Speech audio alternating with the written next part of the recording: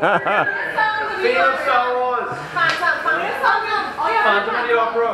We know the Phantom. Can he play by ear? Or is it just music that he remembers? he knows and he remembers mostly. But he can't hear something see. So that's perfect pitch. can, Not eh? everybody has that. He has that. He can. That's fantastic. That's really a gift there. Piano and pan translate very well. He's been doing pan since he's Well, I know that. So- So I didn't know he played the piano. But if somebody can play from here, they have a perfect pitch. And even some of the best musicians in the world don't have that. Uh, he can do it. He plays by ear. He, Sing us. My he learns by ear. He, learn, he used to learn pan by ear. I used to play and then repeat and play and repeat. So never had perfect pitch. But my brother does. But now he knows, knows how to play music. He, he reads and plays music very well. So. Yes, and that goes with it too. But people who have that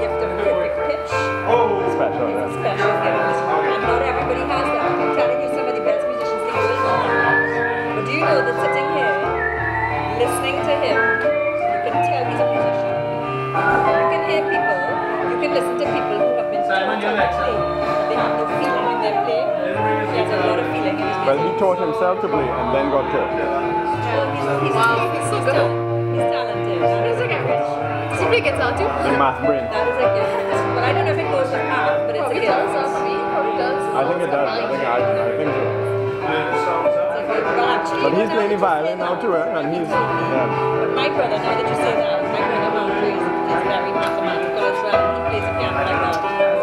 It's, it's, it's using all all of this up here. I don't know, but whatever. And, and, the, and the gift of being able to remember.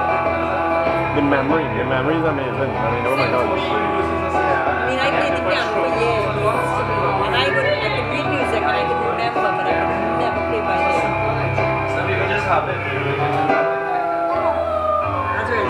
Yeah.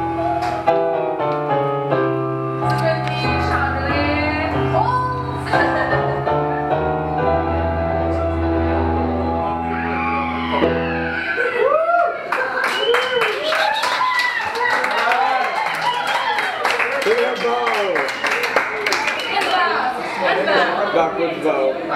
Star Trek. Like, I'll hold your legs on you, do backwards bow. Hello? Roger, didn't teach. He doesn't know Star Trek. The Star Trek theme he hasn't gotten yet now. Alex, you shut up. Alex, we want to lay a camel on.